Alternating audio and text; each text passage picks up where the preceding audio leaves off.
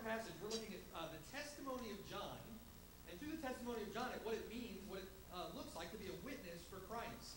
And uh, as we've seen, bearing witness that light, this is the light that all men are born blind to.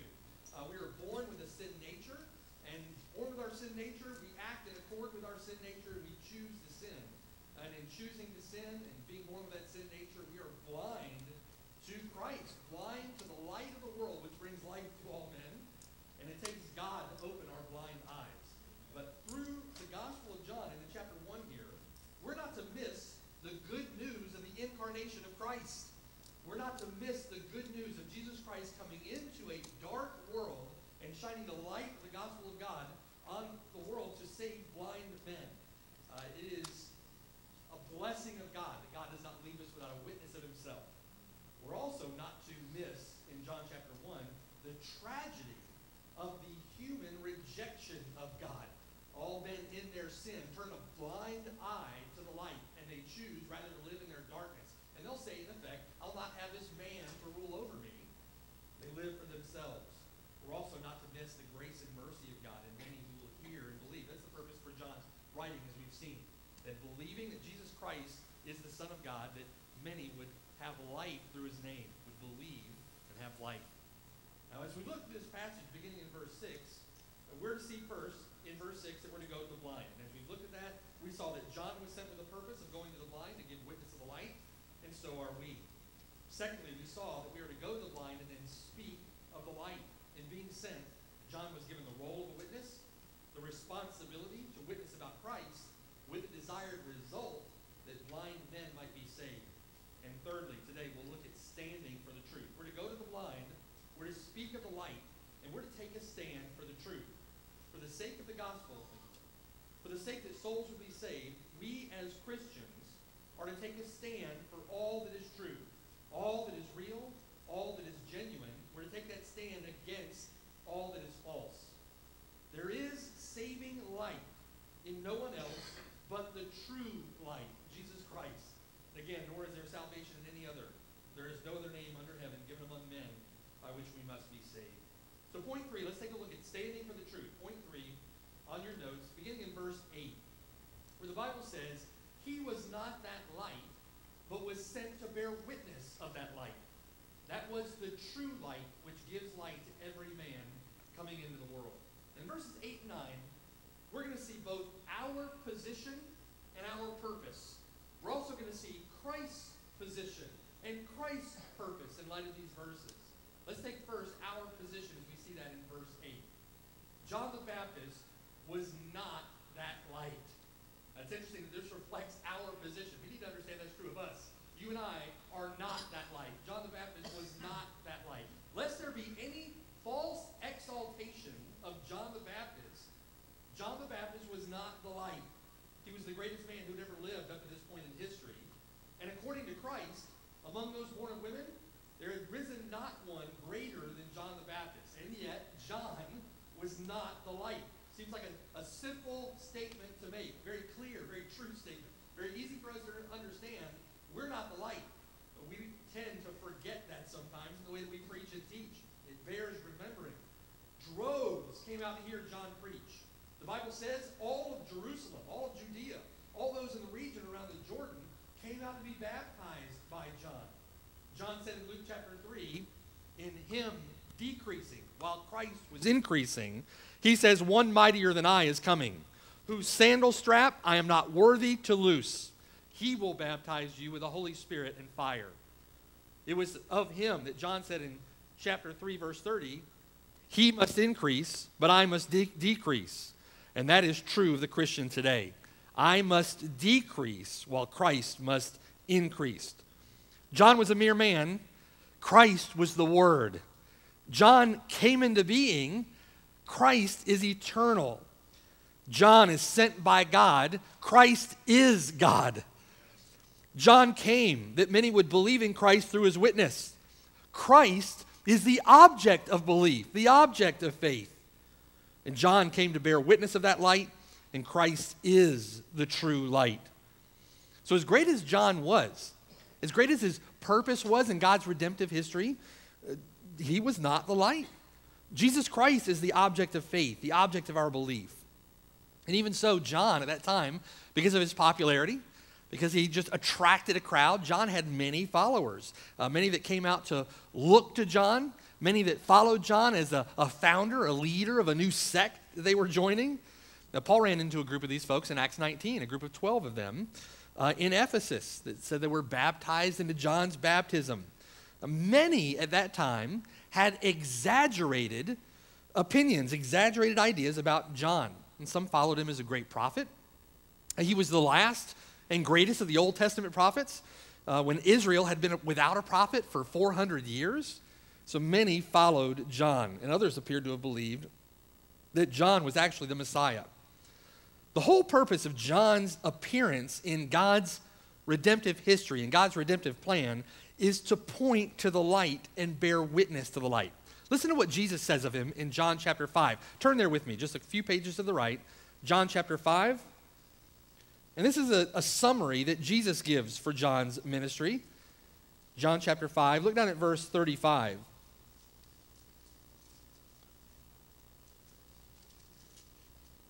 where Jesus says of John that he was the burning and shining lamp, and you were all willing for a time to rejoice in his light. Now, Jesus is the light. What does he say of John here? John's a lamp, right? There are two different words being used. Jesus is the phos, the source, the essence of light. John is a luchnos. He is a portable lamp. He's a light carrier. He's a light bearer. What's the purpose of a lamp? To shine the light, to let the light shine right? That's the purpose of a lamp. That's Jesus' summary here of John's ministry. John is a lamp, right? Does a lamp shine on its own? No. It needs a source of light, it needs a source of power. Look back at Matthew chapter 5. Matthew chapter 5. Let's see the same thing said of Christians, of believers, followers of Christ. A lamp doesn't shine on its own. It needs a source of light, a source of power. In Matthew chapter 5, down in verse 14, here the Bible says, You, Christian, are the light of the world. A city that is set on a hill cannot be hidden, nor do they light a lamp and put it under a basket, but on a lampstand, and it gives the light to all who are in the house. Let your light so shine before men that they may see your good works and glorify your Father in heaven. Ephesians chapter 5, verse 8 says it this way for you were once darkness, but now you are light in the Lord. Walk as children of light. Before Christ, we're full of darkness. You and I are full of darkness. We need a supply of light, we need a supply of power. The lamps don't shine on their own. So, what does a lamp need? It needs oil, it needs power. No oil, and the lamp burns out. And even the greatest man born among women is entirely dark apart from the light of Christ. In Christ, you and I have a derived light. We derive our light from the source of light, the essence of all light. We derive any light that we have from Jesus Christ Himself. And we then are light bearers. Our ministry, being sent by God, can be summed up in the fact that we are lamps, just like John is. You and I are lamps. Christ is the sun, S O N, but also in this analogy, S U N. We are like the moon that reflects the sun. Uh, he shines in us and through us, and through us brings light into the darkness. He is like the sun, S U N, and we are like candles, so to speak. We're just lamps. And John's mission in this was always pointing away from himself and pointing to Christ. A lamp doesn't shine for itself and to itself. Uh, we're simply light bearers. John was always pointing away from himself to Christ. In that, in the light of John's ministry, Jesus Christ, the true light, blazed in John, blazed forth in John's ministry. The moment that John would have pointed to himself, would have been the moment when he would have been ineffective as a witness for Christ. And don't we see that today? You and I point to ourselves. If you point to yourself, yourself, yourself, you become ineffective as a witness for Christ. When your Christian life becomes all about you, all about your wants, your needs, your desires, you become ineffective for Christ.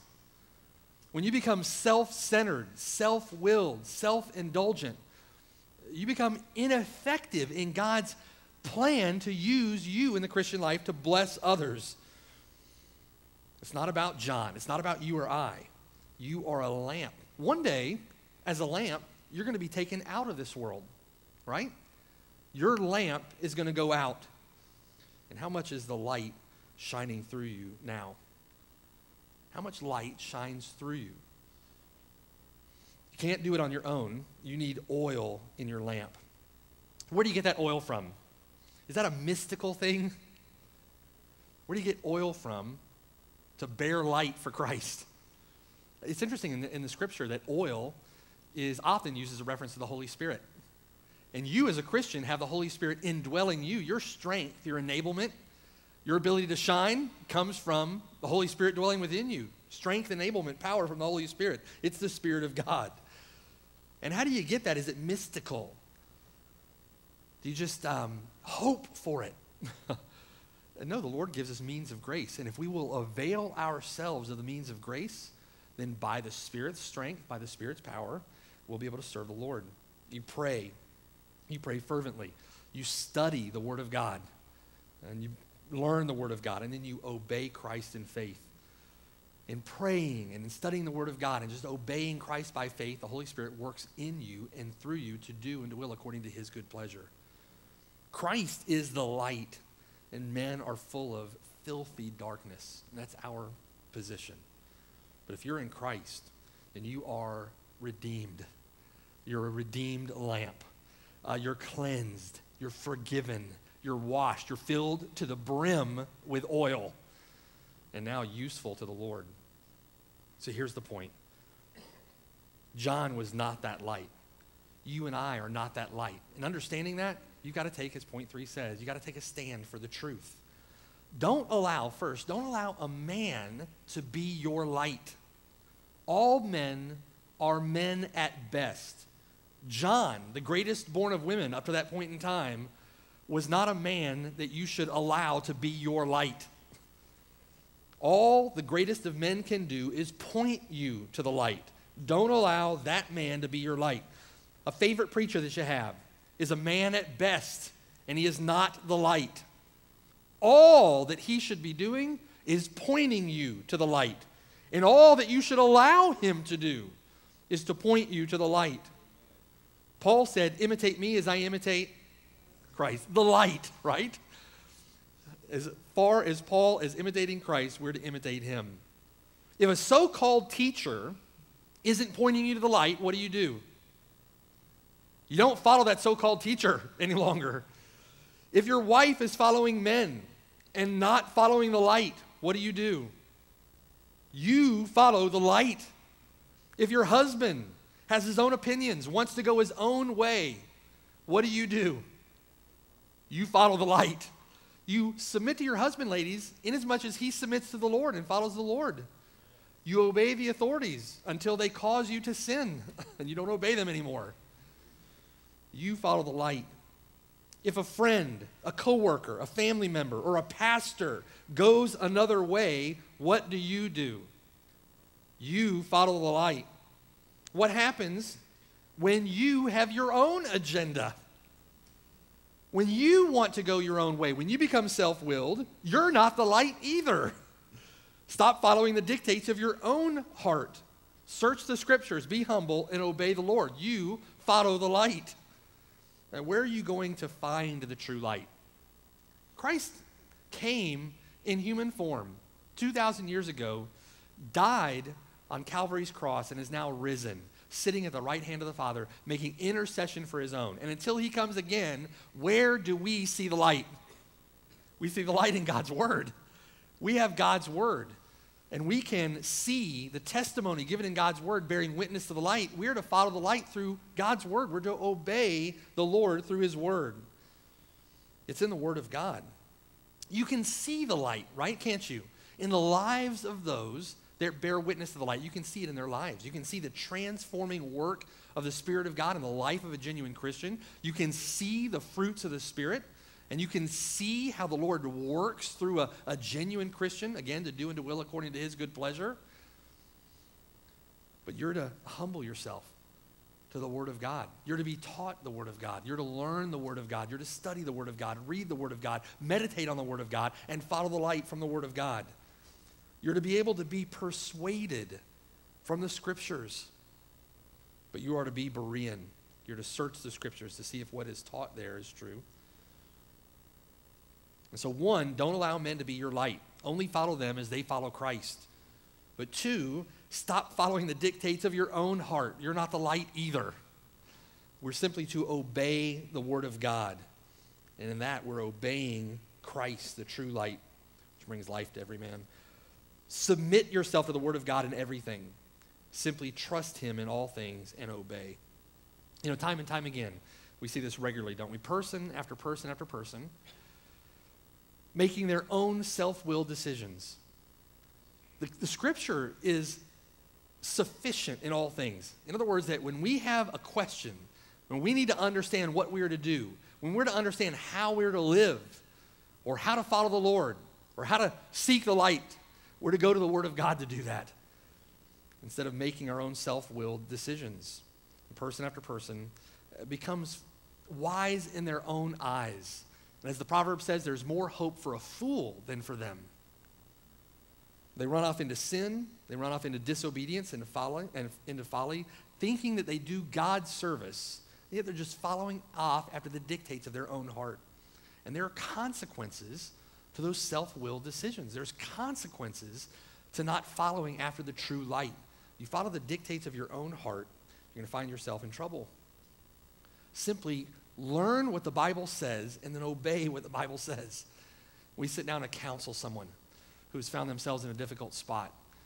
Uh, sit down to counsel someone who now has found themselves in sin or found themselves in rebellion or desiring the dictates of their own heart. What is the answer? What is the remedy to that? It's to point you away from you thinking you're your own light and to point you to the light that's revealed in God's word, that you will follow the light. And if you'll follow the light, You'll not make self willed decisions after the dictates of your own heart. And there's blessing and there's safety and there's preserving power from God for the Christian life.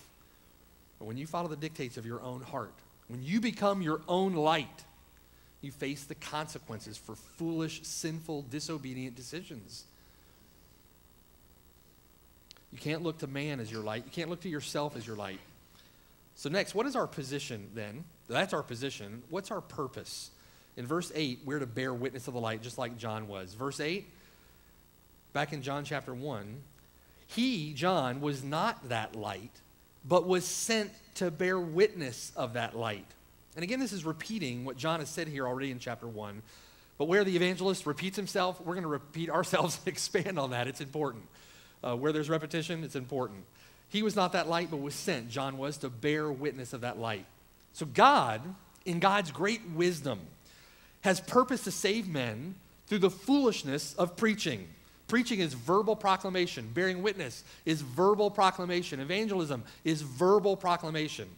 And bearing witness, we're to bear witness to the light so that God, in his wisdom, might save men by the foolishness of preaching. In 1 Corinthians chapter 1, verse 21, the Bible says, For since in the wisdom of God, the world through wisdom did not know God, it pleased God through the foolishness of the message preached to save those who believe. It may seem foolish to darken men. It may seem foolish to those in their sin. It may seem foolish to those who are perishing, but the gospel is the power of God unto salvation. And you, Christian, who have been saved by God through this gospel, the mercy and grace of God in this gospel should recognize it is the power of God until salvation and not be ashamed of it. In Romans chapter 1 verse 16, Paul says, "I'm not ashamed of the gospel of Christ, for it is the power of God to salvation for everyone who believes." And we need to preach it like it's the power of God to everyone who believes. People believe in Christ to eternal life through the faithful witness of genuine believers, all of whom are sent by God like John. That's why Richard Baxter said, I preach as never sure to preach again, and as a dying man to dying men. In that statement, Richard Baxter understands that the gospel is the power of God unto salvation, and he's going to preach that as a dying man to dying men. And all this, again, requires that we take a stand for the truth. We're to bear witness to the light, and in bearing witness to the light, we have to take a stand for the truth. John didn't preach his own mind, John didn't preach his own heart, John didn't preach his own opinions. John didn't think to himself, you know what, I'm going to survey the people, find out what the people want. I mean, can you imagine? John the Baptist didn't do that. The people, he thought, may have thought to himself, want to hear about marriage, so I'll preach on marriage. John the Baptist didn't do that. The people want to hear about sex, about power, about how to be successful on the job. John came to bear witness of Christ, and in that, John was a faithful forerunner. He was not going to cater his message to what the people wanted to hear. He wasn't going to cater his message to the, the cultural demands of the time. Let's get rid of this oppressive Roman government. No, John was concerned about people's sin. They might get rid of the oppression of their sin, the judgment that hangs over their head because of their sin. He didn't preach that Christ could heal you, which Christ could. He didn't preach that Christ could take you from your infirmities and give you health and give you wealth. He could make you rich, or he could provide a free lunch. Christ could do all of those things. But that's not what John preached. John said what he said because he knew he was responsible to God. John preached the message that he preached because he knew he was accountable to God.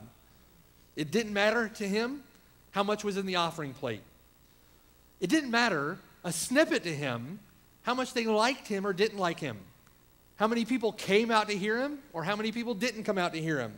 He didn't mind calling those Pharisees to their face a brood of vipers, a generation of snakes. It didn't matter how many of those people came out against him. John the Baptist was going to be faithful to preach the message that God had given him to preach. He didn't mind telling Herod that Herod was in sin for having his brother's wife. And he didn't mind it so much that he eventually went to his death because of it. Would you rather keep your head, or would you rather hear God say of you, Well done, good and faithful slave? You can make me headless. Isn't that what you want to hear from God? Well done, good and faithful slave. We must stand for the truth in our preaching.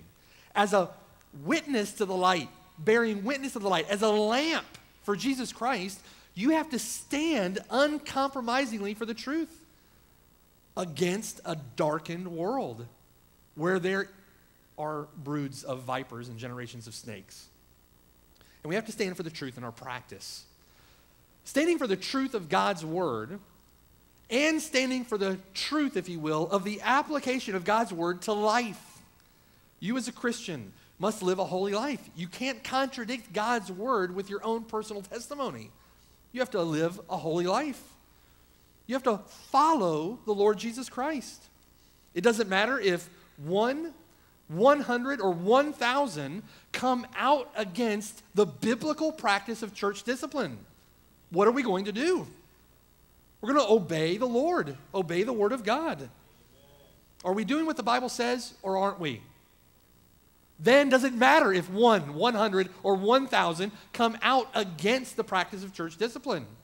We're obeying the Lord in what the Lord says for us to do. Let the rest of them pound sand. We need to obey the Lord. Amen? Amen.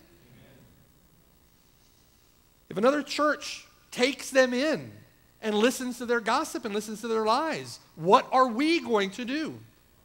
We're going to follow the Lord. We're going to be lamp bearers for the light, pointing people to the light.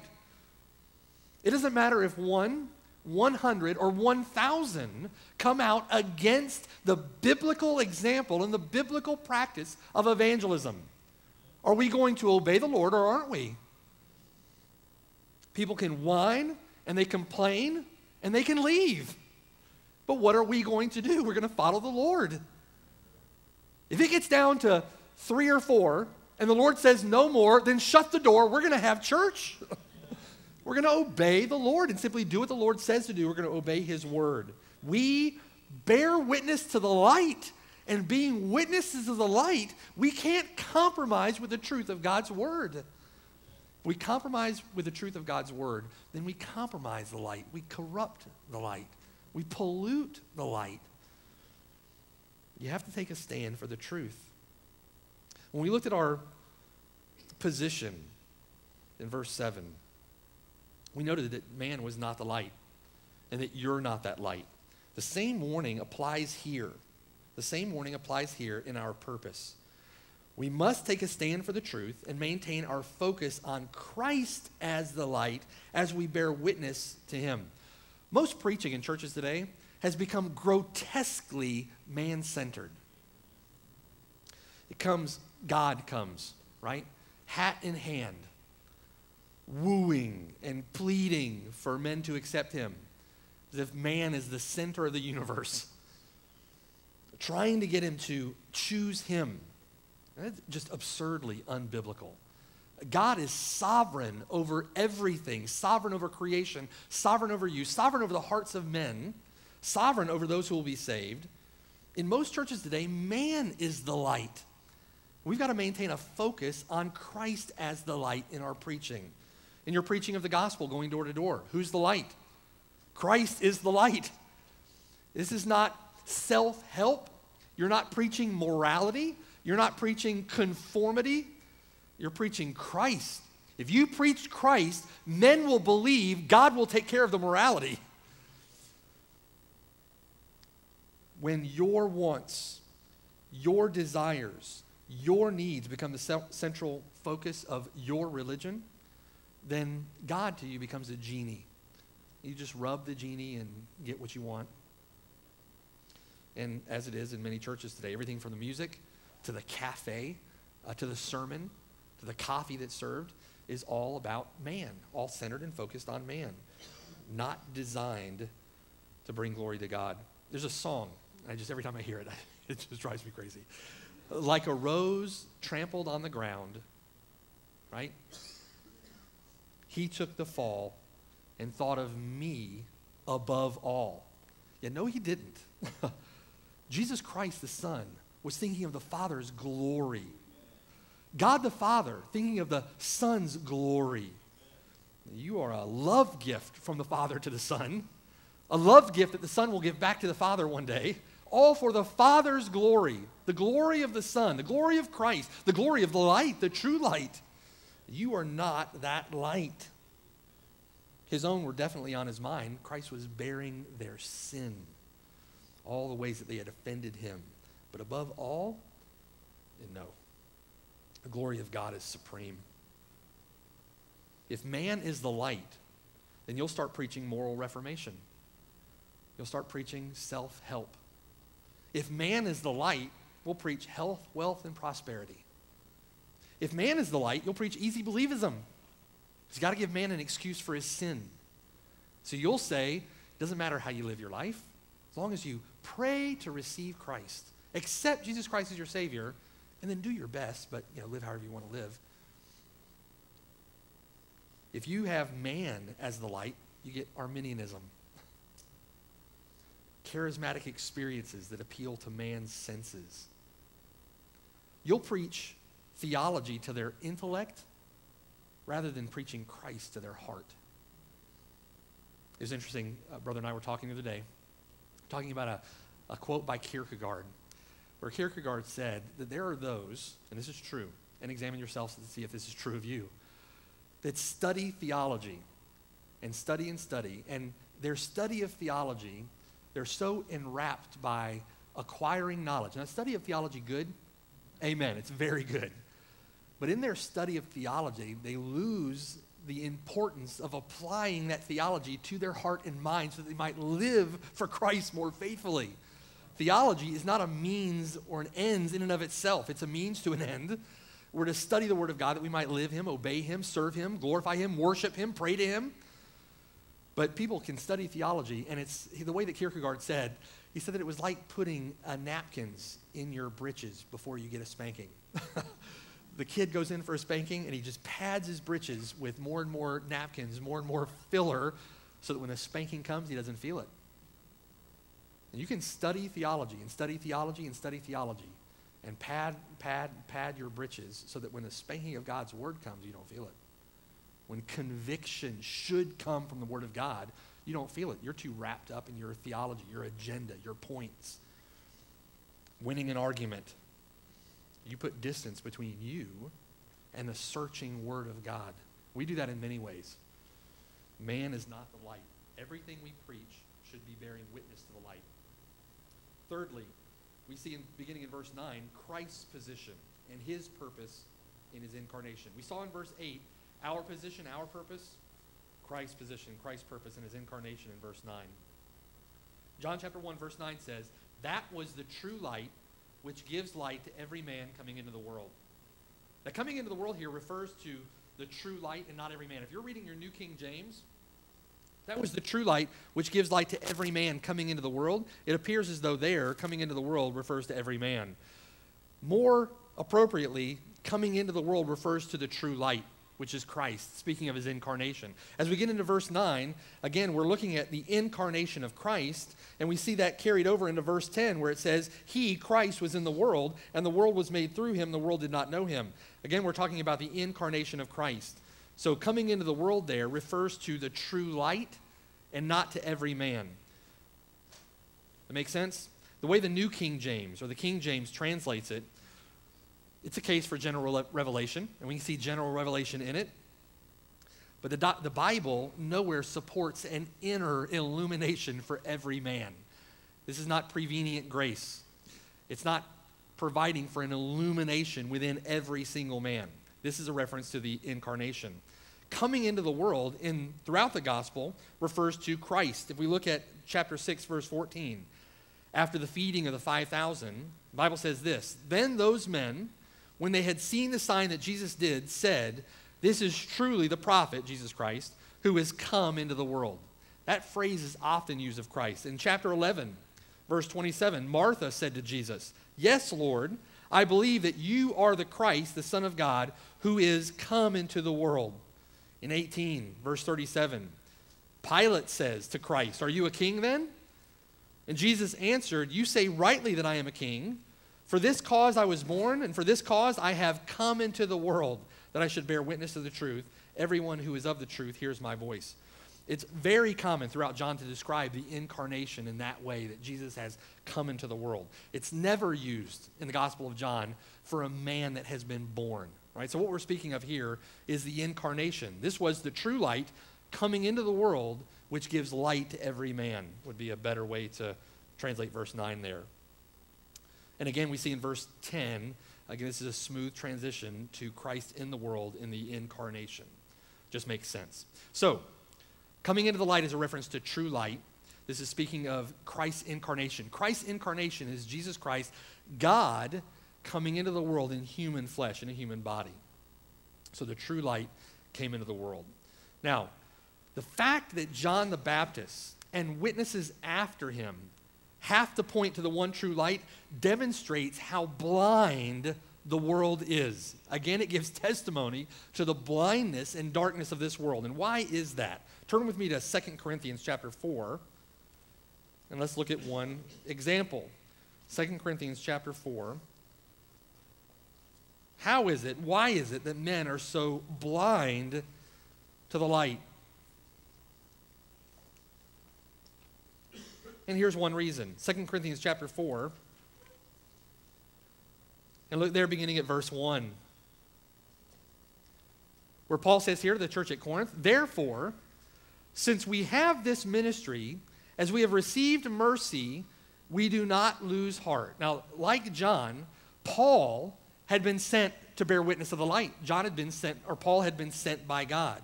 This call to gospel ministry, Paul says there in verse 1, is a mercy from God. Therefore, since we have this ministry, since we've been sent by God with this purpose to bear witness, to bear testimony to the light, he says, This is a mercy, as we have received mercy.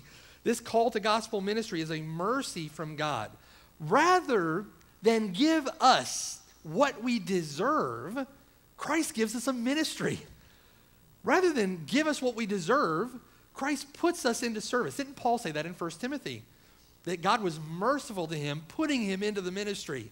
Well, he's been merciful to you and I, putting us into the ministry. He's been merciful here to Paul in 2 Corinthians chapter 4, verse 1. This is a mercy from God.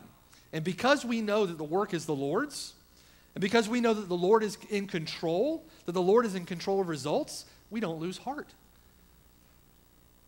If you had to face that ministry in your own strength, face that calling in your own power, thinking that it all hangs on how I say this or that or how I do this or that, can you imagine the, the pressure?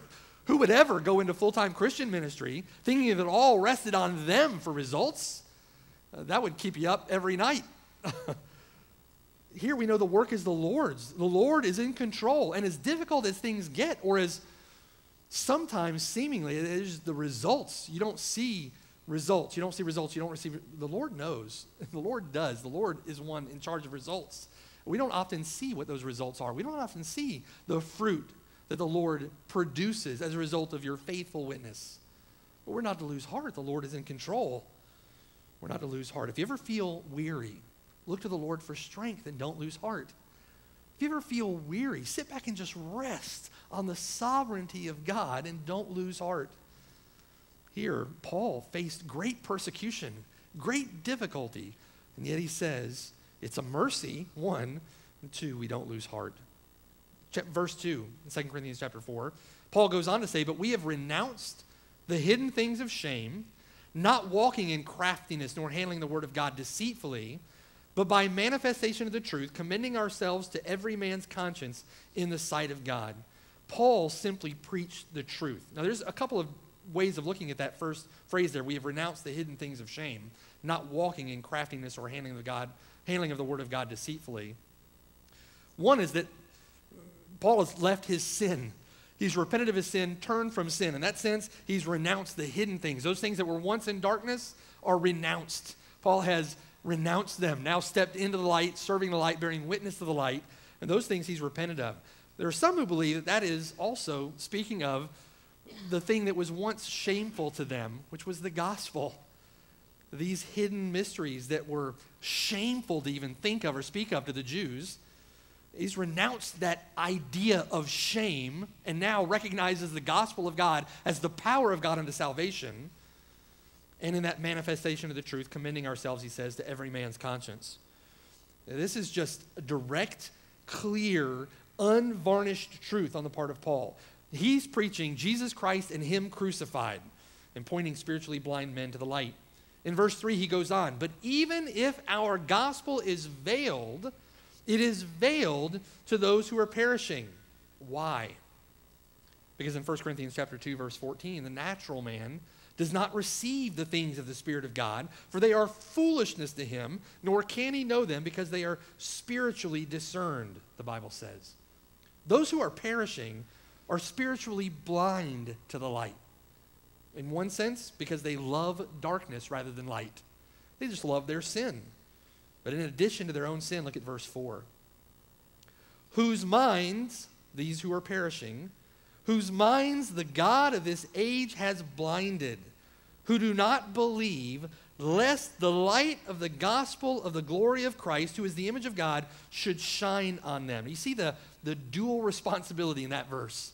One, the minds, uh, the God of this age has blinded their minds. Satan's world system you know, it's not necessary for Satan to possess every person or that his demons should possess a lot of people. Satan has a world system designed to deceive you, designed to keep your mind in darkness, designed to keep you indulging the flesh, you being your own light, living your own life. So it is the, the God of this age has blinded the minds of those that are perishing. But look at what it says in the uh, second half of verse 4 there who do not believe. Listen, that's the sinner's responsibility. They don't believe the light. They would rather have their darkness. And they don't believe because they don't want the light of the gospel of the glory of Christ, who is the image of God, to shine on them. And why? Because they love darkness rather than, their, rather than the light, because they don't want their evil deeds exposed. And so, what is the remedy here? What is Paul to do? Look at verse 5. For we, Paul says, do not preach ourselves. Paul is not the light. But we preach Jesus Christ the Lord. Jesus Christ is the true light. And he says, ourselves, your bondservants, your lamps, for Jesus Christ's sake, to bear witness of the light. We do not preach ourselves. Paul is not the light. But Jesus Christ the Lord, because Jesus Christ is the true light, and ourselves, your bondservants, for Jesus' sake, because he is sent by God to bear witness of the light. For it is, verse 6, the God, it is God who commanded light to shine out of darkness, who has shown in our hearts to give the light of the knowledge of the glory of God in the face of Jesus Christ. And Paul points spiritually blind people to the light of Jesus Christ. It was Paul's ministry too, just like John's. With Satan over this world, with this God of this age, as Paul says, over this world, there are also false lights. There are deceiving lights, pretending lights. 2 Corinthians chapter 11, in verse 14, Paul says, and no wonder. For Satan himself transforms himself into an angel of light. Therefore, it is no great thing if his ministers also transform themselves into ministers of righteousness, whose end will be according to their works. In John chapter 18, we see false accusers falsely giving testimony of the light against Jesus Christ, leading to his crucifixion.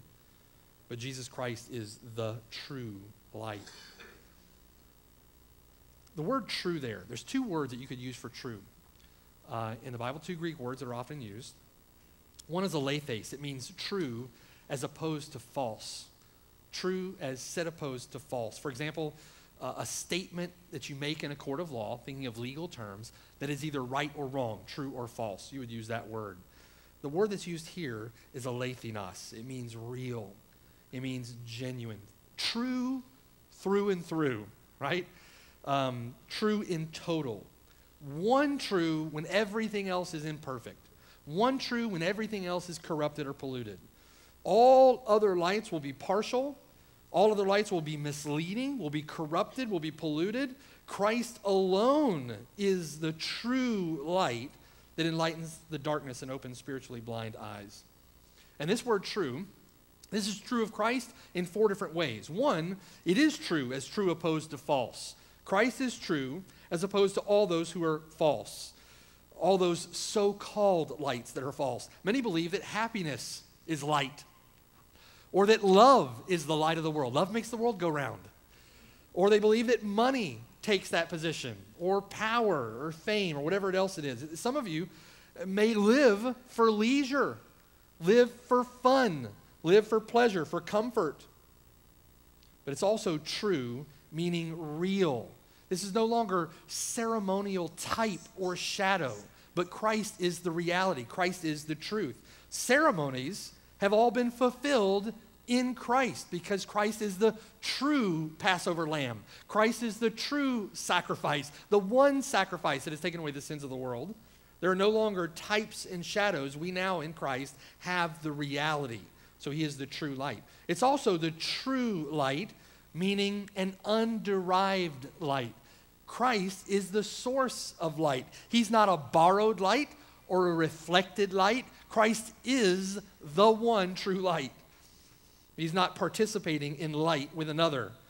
And it's also true, meaning highest or preeminent. Christ is supreme as the one true light. He's not ordinary or common or in any way like you or I in that sense. He is the one unique true light. So we're to take a stand for this light. And you're to take a stand for the truth in your own life. Tend to your own faith tend to your life and your doctrine, as Paul said to Timothy, that you might save both yourself and those who hear you, right? No other light will forgive or cleanse. No other light will change your life. No other light will impute righteousness, righteousness that is not your own. No other light is going to get you to heaven. Lastly, Christ's purpose is to bring light into the darkness to every man. Verse 9, that was the true light coming into the world, which gives light to every man. J.C. Ryle said this Christ is to the souls of men what the sun, S U N, is to the world. He is the center and source of all spiritual light, warmth, life, health, growth, beauty, and fertility. Like the sun, he shines for the common benefit of all mankind, for high and for low, for rich and for poor, for Jew and for Greek. Like the sun, he is free to all. All may look at him and drink health out of his light. If millions of mankind were mad enough to dwell in caves underground or to bandage their eyes, their darkness would be their own fault and not the fault of the sun. So, likewise, if millions of men and women love spiritual darkness rather than light, the blame must be laid upon their blind hearts and not on Christ. Whether men see or not, whether they leave their dark caves or not, there is no other light for sinners except the Lord Jesus Christ. Luther said there's only one light. No man coming into the world can possibly be illumined by any other light. Jesus Christ is the only man who ever gives light to anyone. Any enlightened man is enlightened by him alone. And this blindness is without excuse. Again, because the light of Jesus Christ shines on every man. In verse 4, back in John chapter 1, uh, we saw that in him was life, and the life was the light of men. In Romans chapter 1, men are without excuse. We don't have time to, to go there, but I invite you to take a look at that passage in verses 18 through 23. Man is accountable and guilty before God for the light that is revealed in creation and in man's conscience. Man is accountable before God, guilty before God, and he is without excuse. Although he shines on every man, as the passage says here, we know that not every man is spiritually enlightened. Verse 5 in John chapter 1 says that the darkness did not comprehend it. Down in verse 10, he was in the world, but the world did not know him. And people refuse to come to the light because they love their sin. They don't want to leave it, they don't want to be exposed. They are willfully blind. John chapter 3, we'll get to this passage beginning in verse 19. John says, and this is the condemnation that the light has come into the world, and men loved darkness rather than the light because their deeds were evil. For everyone practicing evil hates the light and does not come to the light, lest his deeds should be exposed. And so Jesus, the life and light of men, comes into the world. True light shines for every man to see. He gives off light, and many reject. And so, if you think about it then, Jesus Christ shines on some that they might believe. And having believed in his name, they might have eternal life. But on others, he shines for the purpose of judgment. There are those that will not believe. He has to grant sight to some, and there are others that he passes over. And men are responsible for their damnation. Christ came to save sinners, and eventually he will judge. God in Jesus Christ must open blind eyes, must cause spiritually dead men to be made alive in Christ, to see in the light of Christ their wicked condition before him, that they might repent, turn from their sin, and put their faith in Jesus Christ. There are others that when the light shines, they simply reject the light. They hoard themselves in their darkness, in their dark corner, in their dark cave. They reject the light lest their deeds should be exposed because they love their sin and God simply passes over. Men are responsible for their sin. Men are responsible for their guilt before God, and Christ eventually comes to judge. John the Baptist went to the blind, spoke of the light, and then he took a stand for the truth. We're to do the same. The gospel is the power of God unto salvation. You know, in John chapter 10, um, John's ministry is summarized, or John, yeah, John the Baptist's ministry is, is summarized here. Where in verse 40, the Bible says, And he went away again beyond the Jordan to the place where John was baptizing at first, and there he stayed. Then many came to him and said, John performed no sign, but all the things that John spoke about this man were true. And many believed in him there. John spoke, and what he spoke was true. And he spoke of the true light and pointed men to the light, and many believe. Will you believe at the testimony of John? If you're here today and you've never bowed the knee to Christ, you've never turned from your sin, you've never come out of the dark corner of your own cave to give your life to the light, to put your faith and trust in Him alone, you can do that now and be cleansed. If you'll believe on the name of the Lord Jesus Christ, and believing means trusting, trusting in Him alone, not trusting in any of your works, trusting in Christ alone. Believing means committing yourself to Him, to follow Him for the rest of your life. It's saying, I want light, I don't want my darkness anymore. It's trusting yourself to Him in all things. It's a trusting in Christ alone to save you. That bears the fruit of a hatred for sin, bears the fruit of obedience to Christ, bears the fruit of a love for His Word, bears the fruit of a love of His purpose to come into the world to save sinners, bears the fruit of your following God's sending of you to bear witness of the light. Will you follow Him? Will you turn from your sin and put your faith in Christ? Let's pray. Father in heaven, Lord, God, we thank you for this time. Thank you for the gospel, that it is the power of God unto salvation. Thank you, God, that you've sent witness after witness after witness to bear witness to the light. And thank you that you triumph over our darkened hearts, our darkened minds, our blind eyes, our deaf ears, our dead lives, God, and that you bring us in Christ to life, that we might be saved. Thank you, Lord, that it's not by the will of our flesh or the will of man, not by what family or what heritage or what ethnicity we're born into. But it's, Lord, it's by your will. We praise you and thank you for that. And thank you, Lord, for the testimony here that we've seen of John the Baptist. Just a faithful example of a witness for Christ. And Lord, may we live in light of that witness and be faithful witnesses ourselves. Our desire, Lord, is to please you, to please you, and to one day hear you say, Well done, good and faithful slave for your glory, God, and for the, the good of those that will turn from their sin and believe on, on you, that they might worship you for all eternity. In Jesus' name we pray. Amen.